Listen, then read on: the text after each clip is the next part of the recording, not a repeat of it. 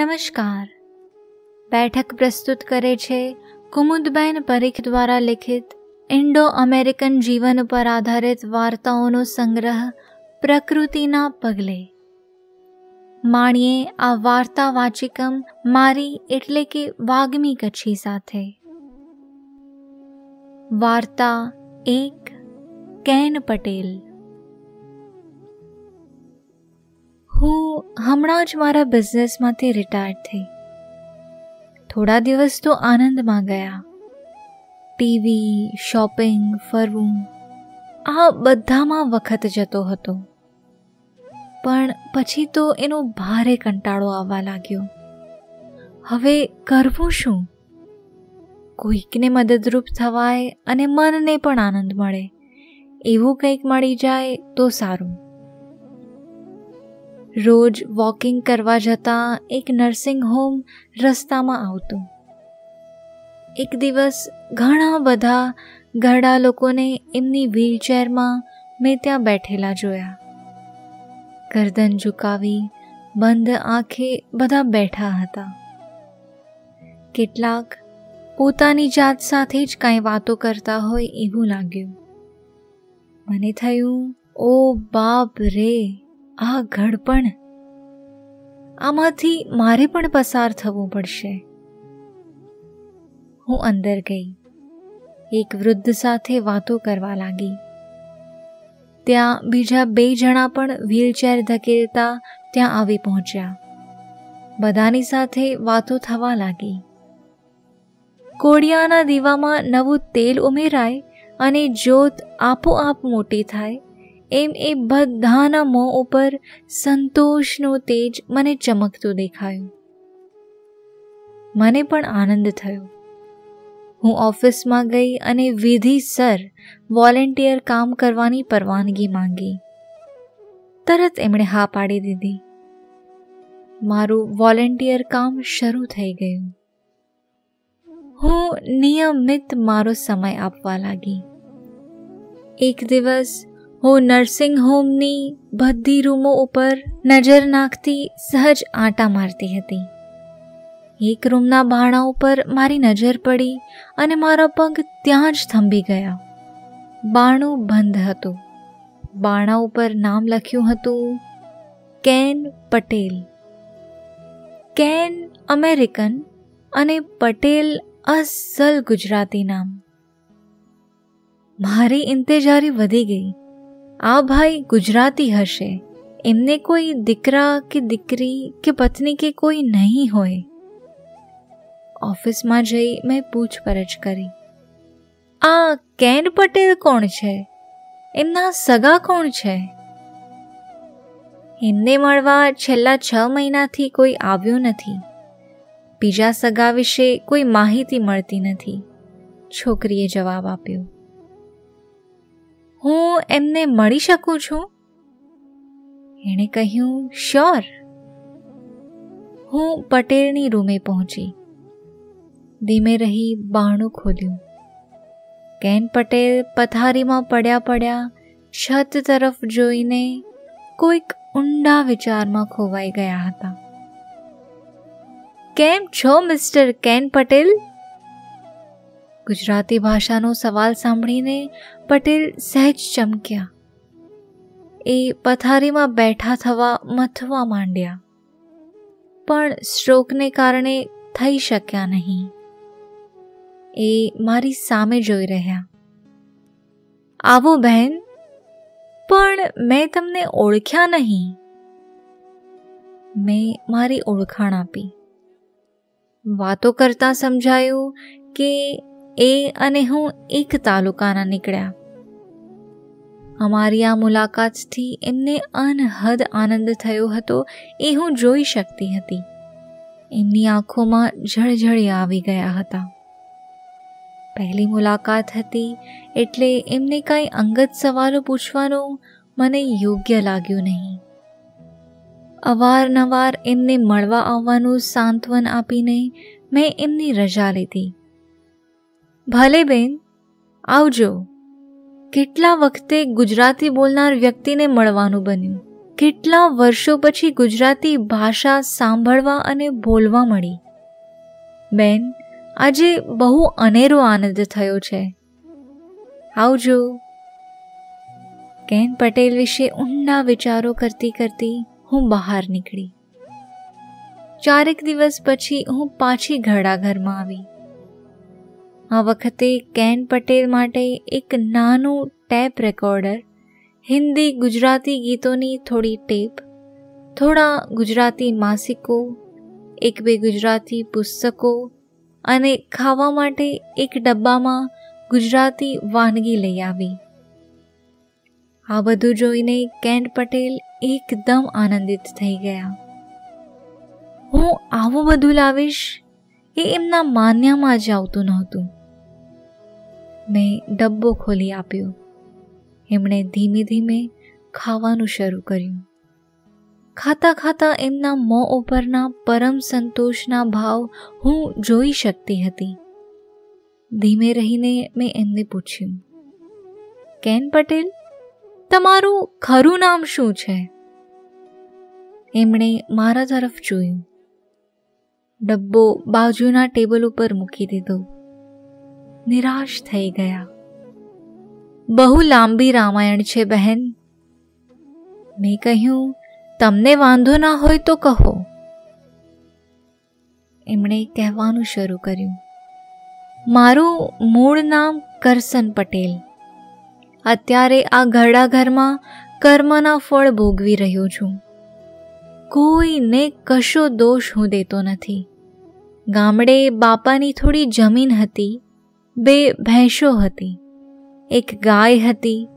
એમાંથી કુટુંબનું ગુજરાન ચાલતું હતું. ભણવામાં હું બહુ હોશિયાર હતો. હંમેશા પહેલા નંબરે રહેતો.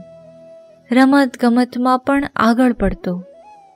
મિલનસાર સ્વભાવ એટલે શિક્ષકો અને મિત્રોમાં માનીતો પણ ખરો. મા બાપ પેટે પાટા બાંધીને મને ભણાવતા હતા. એમનું ઋણ તો કદી ચૂકવી નહીં શકાય. પટેલ થોડા ગળગળા થઈ ગયા. થોડું અટક્યા અને પાછા બોલ્યા હાઈસ્કૂલની એસએસસી પરીક્ષામાં હું છન્નું ટકા સાથે પાસ થયો. મા બાપે ખુશાલીમાં ગામમાં પેંડા વહેંચ્યા હું પણ ખુશ હતો. કોલેજના જુદા જુદા સપના જોવા લાગ્યો. ત્યાં એક દિવસ મારા બાપુજીએ ઓચિંતો ધડાકો કર્યો. એમણે કહ્યું, કરસન, તું બહુ નાનો હતો ત્યારે તારા વિવાહ કરેલા હતા. હવે તું હાઈસ્કૂલ પાસ થઈ ગયો એટલે આવતા મહિને તારા લગ્ન ગોઠવીએ છીએ. હું ચૂપચાપ સાંભળી રહ્યો. એમનું ઋણ એટલું બધું હતું કે ના પાડીને એમનું હૈયું દુખાવાય નહીં. એ જમાનો જુદો હતો. મારા લગ્ન થઈ ગયા. પત્ની સમજુ ઘરમાં આવી. રૂપાળી, નમણી અને નામ પ્રમાણે ગુણ ધરાવતી સમજુ. કોલેજની વાત મારા મનમાંથી ખસતી નહોતી, પણ પૈસાની સગવડ વગર બધું અટકી પડ્યું હતું. એક દિવસ મારી પત્નીએ મને આશ્ચર્યનો ધક્કો આપ્યો. એણે કહ્યું, મારા પિયરના ઘરેણાં વેચીને તમે કોલેજ પૂરી કરો. પછી ઘરેણાં તો કમાઈ લેવાશે. એની હિંમતથી હું કોલેજમાં દાખલ થઈ ગયો અને જોત જોતામાં એમએ થઈ ગયો. મારી આવડતને લીધે અમારા ગામની હાઈસ્કૂલમાં પ્રિન્સિપાલ તરીકેનો હોદ્દો સંભાળવાનું આમંત્રણ મને મળ્યું. મેં એ તક ઝડપી લીધી. ગામમાં, તાલુકામાં અને જિલ્લામાં મારી હાઈસ્કૂલના ભારે વખાણ થવા લાગ્યા.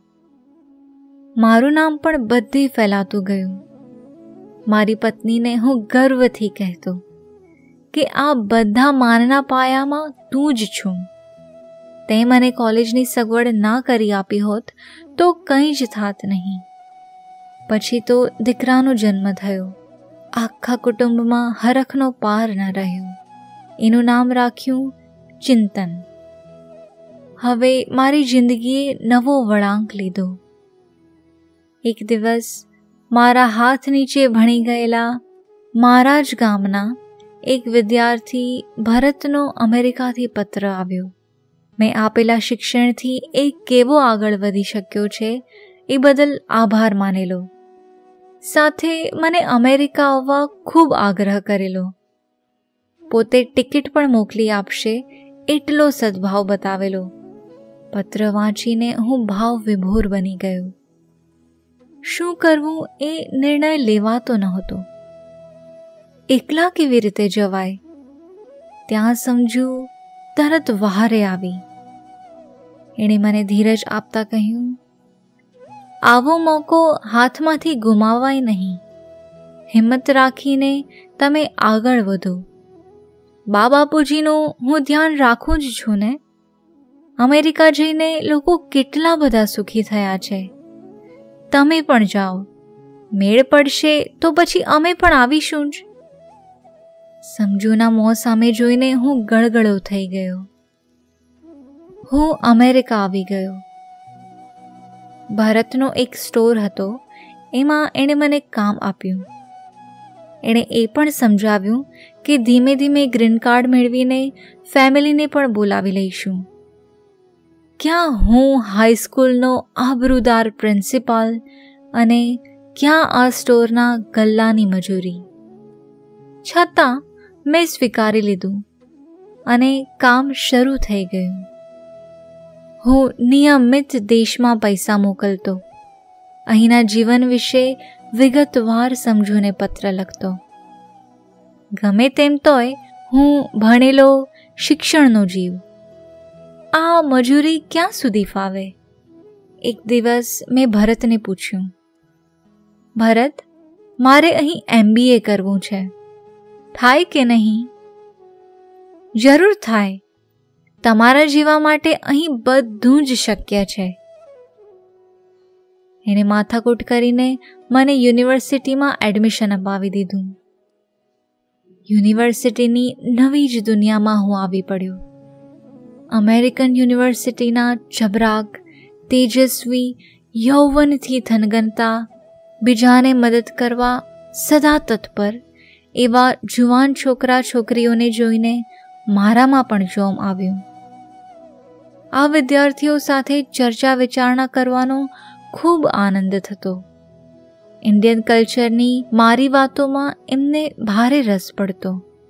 કેટલાક વિદ્યાર્થીઓ મને જુદે જુદે ઠેકાણે ફરવા લઈ જતા.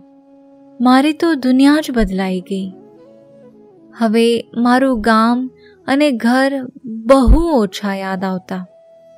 દોઢ વર્ષમાં મેં ઉત્તમ ગ્રેડથી એમબીએ કરી નાખ્યું.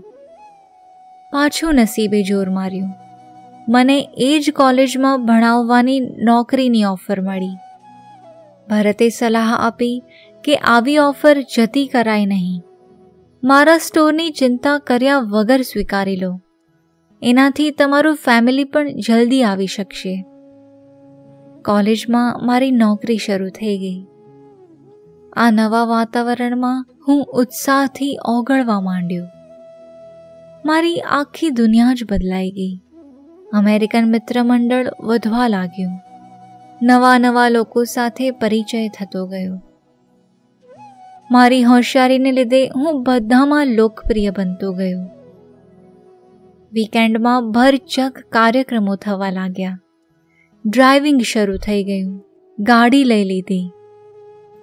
મિત્રો સાથે ક્લબમાં જઈ નવો આનંદ માણવાનું શરૂ થયું. અમેરિકન કલ્ચરનો અનુભવ હું લેવા લાગ્યો.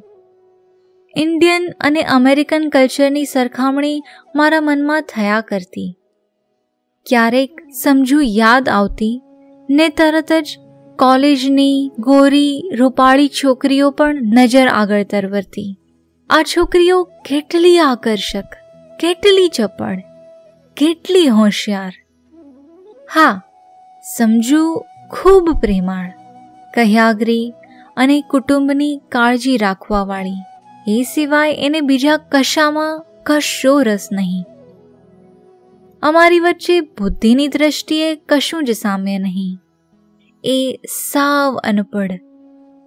ધીમે ધીમે સમજુમાંથી મને રસ ઓછો થવા લાગ્યો. અમેરિકન યૌનાઓ તરફ આકર્ષણ વધતું ગયું. અલબત્ત, સમજુને હું પૈસા નિયમિત મોકલતો, પત્ર પણ લખતો. પણ પત્રો હવે લખવા પૂરતા સાવ લુખ્ખા ટૂંકા થઈ ગયા. ચિંતનના ભણવામાં ધ્યાન આપવાનું લખ્યા કરતો. એણે ડૉક્ટર બનવાનું ધ્યેય રાખવું એમ હું લખ્યા કરતો. સમય વીતતો ગયો. મારા ક્લાસમાં એક અમેરિકન યુવતી હતી. મારા કરતાં વીસેક વર્ષનાની ખૂબ રૂપાળી. આરસની પ્રતિમા જેવી ઘાટેલી, ખૂબ આકર્ષક, પણ દુઃખી લાગતી હતી. એનું નામ મેરી. એક દિવસ કોલેજ છૂટ્યા પછી મેં એને મારી સાથે કોફી પીવા આમંત્રણ આપ્યું. હોશે હોશે એ આવી. કોફી હાઉસમાં અમે બેઠા. થોડી આમ તેમ વાતો થઈ.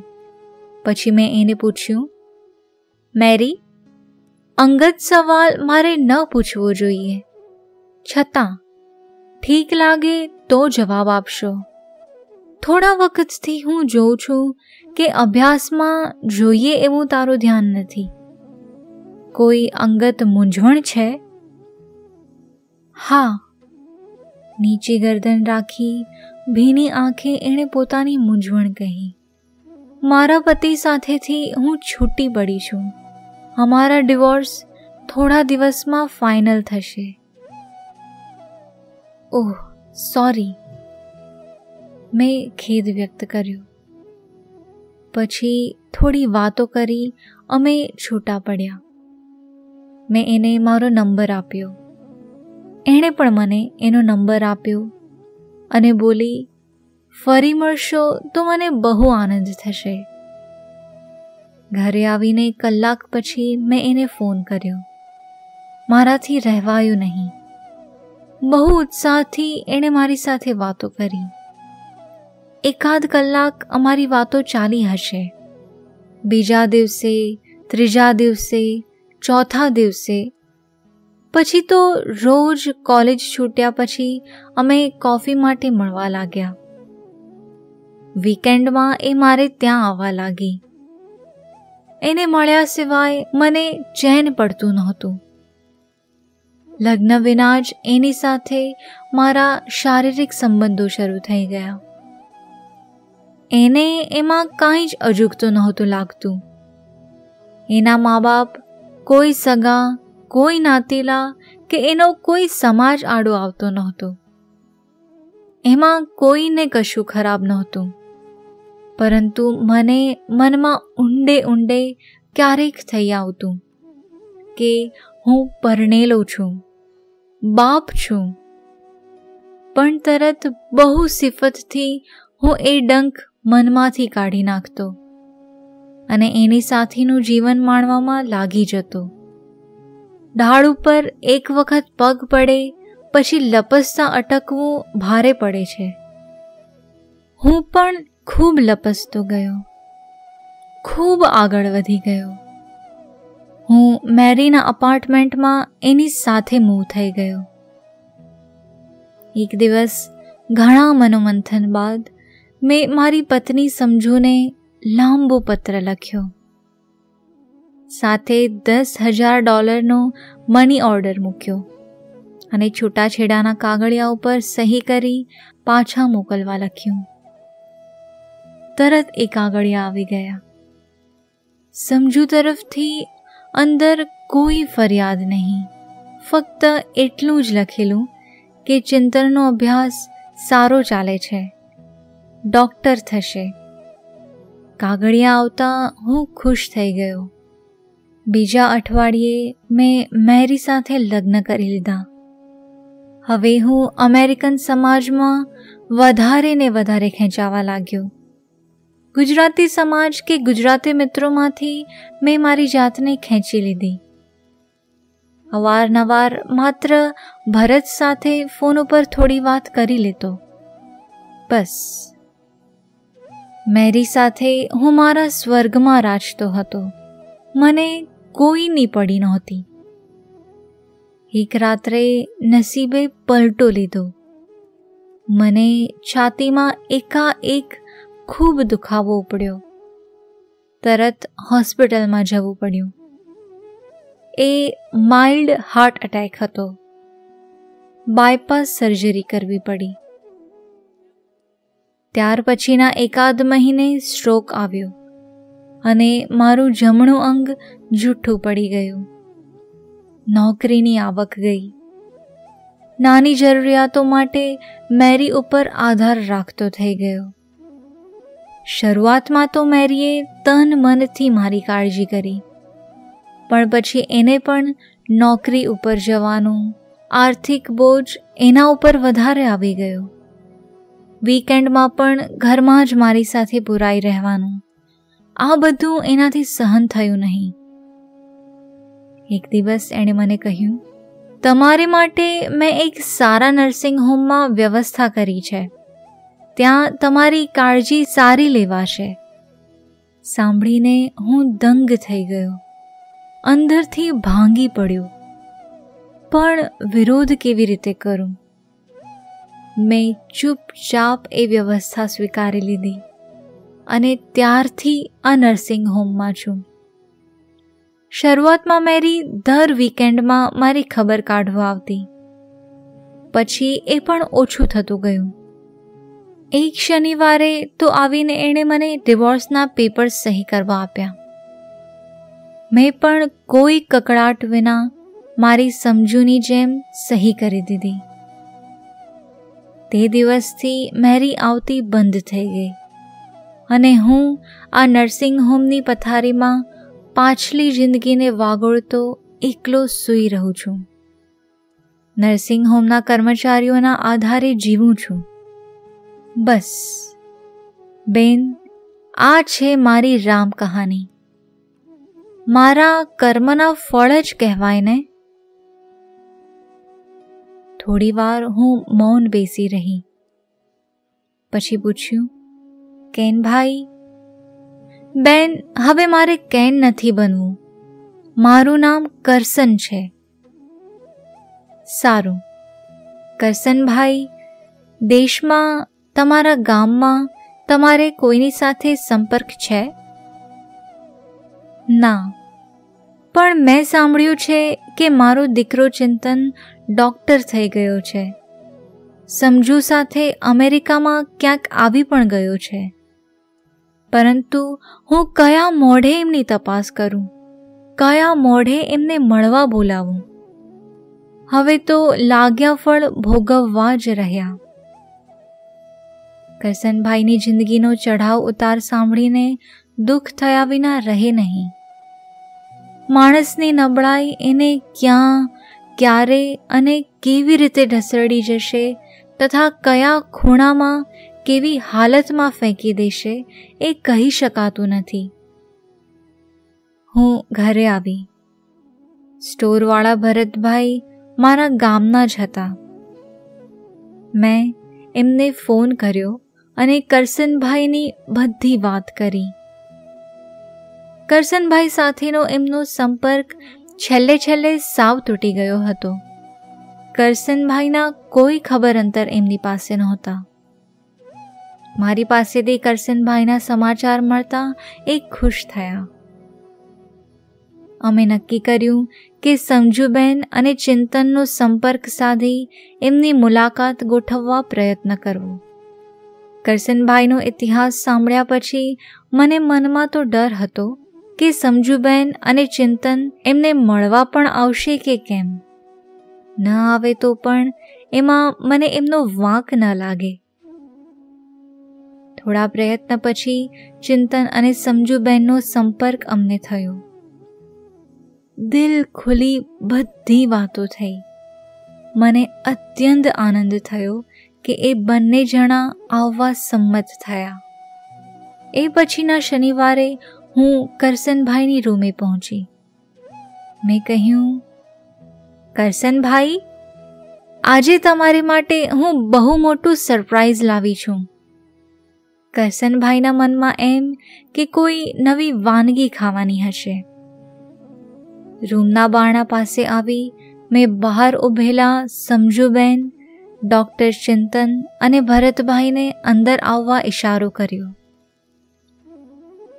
સમજુ, સામે ઊભી છે. એ કરસનભાઈની આંખો માનવા તૈયાર નહોતી. એમની આંખો આંસુથી છલકાઈ ગઈ. પ્રાયશ્ચિત રૂપે સૌની માફી માંગવા એ પોતાના હાથ જોડવા મથામણ કરવા લાગ્યા. પણ શ્રોકને લીધે હાથ સહકાર આપતા નહોતા.